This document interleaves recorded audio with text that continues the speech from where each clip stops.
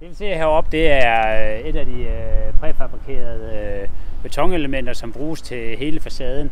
Man er færdig med at montere den nedre boks, og er påbegyndt monteringen af den øvre boks, som er roteret lidt i forhold til den nedre boks. Man regner med, at elementmonteringen på den øvre del er færdig medio september, hvorefter man egentlig kan begynde at lukke huset og lægge tag på og montere alle vinduerne, hvad vi regner med er klar hen i øh, sidst i oktober.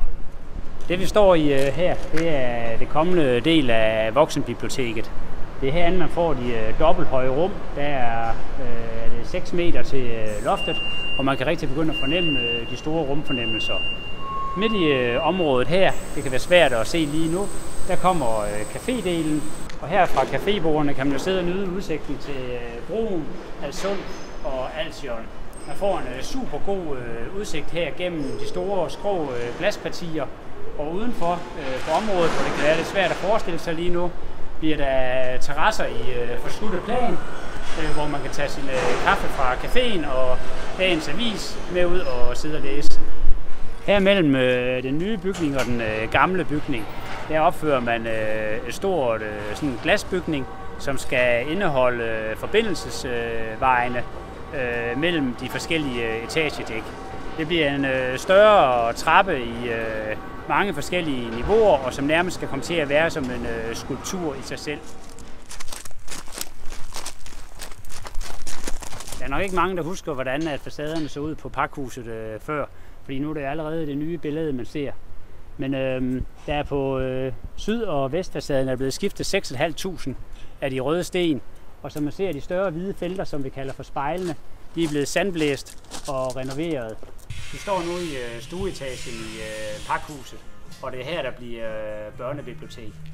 Det mest specielle ved øh, det her rum, det er nok de gamle øh, tømmerkonstruktioner, som er herinde, og som danner øh, ja, et billede af en øh, tidligere verden øh, væk. Herover der bliver der en øh, adgangsvej, og det bliver der også øh, i det brede hul herover, som giver adgang til øh, mellembygningen og ud til øh, forbindelsestrappen.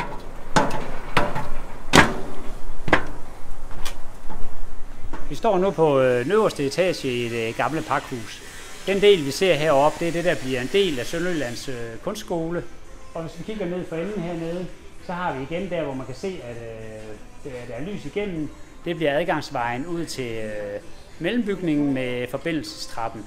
Det bliver sådan, når man kommer igennem der og går ned ad gangarealet, så bliver der faktisk øh, glas skillevægge, så man har et syn hele vejen igennem bygningen og kigger ud mod øh, øh, broen igen. Man lægger mærke til den øh, sorte øh, tagpapflade, som er brændt på herover. Bliver det sådan en stor terrasse, som man kan gå ud på, øh, som egentlig ligger de her 7 meter over terræn.